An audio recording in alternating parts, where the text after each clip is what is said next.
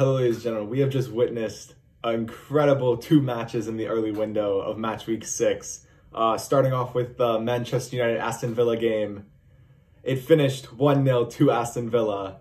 Manchester United never looked like they really could get into the game. They were in it, but they never had a, any cl- really clear chances. They were getting not dominated, but they had the majority of the possession. They just really couldn't string anything together in the final third. And when you're playing a team that has the quality that Aston Villa have, the longer you let them stick around, the more opportunity that something's going to happen, like what happened on their goal scoring when they scored their goal. Uh, a ball whipped in and a, a very, very well timed header in the, the corner. There was a debate whether or not Ollie Watkins was crowding De Gea, which would have been a would have been called offsides. It looked to be borderline. I think that that decision depends on the referee and which referee you have, but this is definitely a very bad result for United. And going down one 0 and around the 70th minute, um, they should have been able to come back and being awarded a penalty in the in the dying seconds of the game um, a penalty that awarded that I personally don't think should have been a penalty. Uh, it's a situation where what do you want? Where do you want the defender to put his arms? It wasn't in a crazy, unnatural position, but it definitely wasn't tucked to his body. It was sort of in like that that middle gray area. But once that penalty was awarded, I think everyone watching was wondering who was going to take it, Bruno or Ronaldo. And looking, Bruno was the one that stepped up to it. Emi Martinez was talking, trying to get inside his head, which eventually it seemed like he did. But Bruno steps up and skies the penalty over the bar, not even close, into row into row Z pretty much. But to do that when you have the best goal scorer of all time on the field is inexcusable. Ronaldo should be taking that penalty. Ronaldo, I don't see Ronaldo missing that penalty.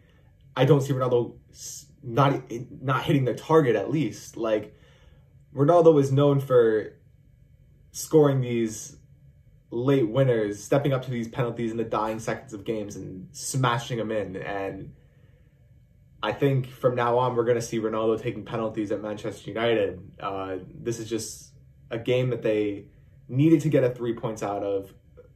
Eventually couldn't, but they had a chance to salvage one point, which in this Premier League season, with this going to be a super close race to the for the title, each point is going to matter. And this could be a game where you look back and you say, "We needed that one point," or "We needed the th- they really needed the three, but they couldn't get it." Being at being at home against Aston Villa, that's a must-win game if you're Manchester United and you have these these title ambitions in this super competitive league.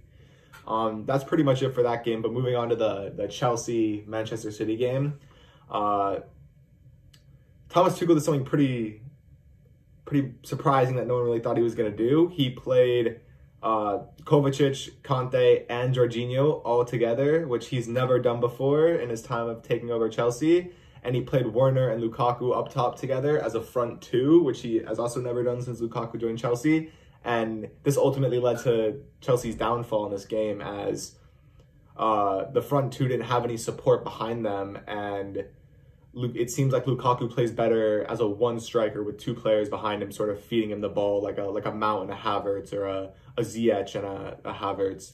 But Tuchel opted for the the three pretty much holding midfielders, and it really worked against him. While Pep played Rodri in the middle of the park, which seemed to help, uh, as he didn't do in the Champions League final, but Pep's team played an incredible, incredible game. They had, they dictated the possession, the tempo. They pretty much dictated everything there was about the game.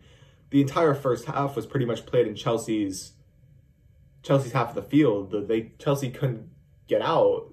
Um, there really was no positives for Chelsea in this game besides the fact that they kept it at one. Mendy in goal had a great game. Uh, made a bunch of big saves. It could have been two. It could have been three if it wasn't for Mendy but Gabriel Jesus is, ends up getting the goal in the second half. Um, pretty much just turns onto it on his right and then hits it in the corner. But uh, Mendy sort of couldn't really see through all the bodies there. But Chelsea, after that, did go on a little bit of a push. They had a couple minutes of good spell of play, but it wasn't anything crazy. And City ended up holding on for the three points. And this is a, I think, a statement win for City after the Southampton nil nil and sort of the drama between Pep and the fans. This is a pretty big win for them that shows that shows the rest of the Premier League that that they're here and they're not going anywhere, and that they're a great side even without a traditional number nine. They they will put a lot of pressure on you and they will dictate the tempo of the game. But a lot of drama early this morning. It was incredible to watch both those games, and I'm excited for the rest of the weekend. I'll see you guys later.